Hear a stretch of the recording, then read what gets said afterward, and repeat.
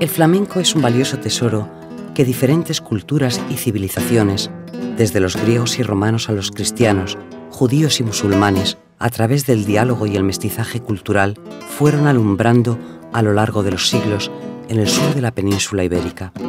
Para completar el cuadro, a finales del siglo XVIII, a esta impronta primigenia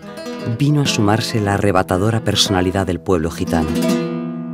Desde entonces, para los grupos humanos que pueblan ese triángulo geográfico formado por las minas de la Unión en Murcia, las dehesas de Badajoz y las marismas de la Baja Andalucía, el flamenco es mucho más que unas músicas y unas danzas bellas y emocionantes. Para estos millones de personas, el flamenco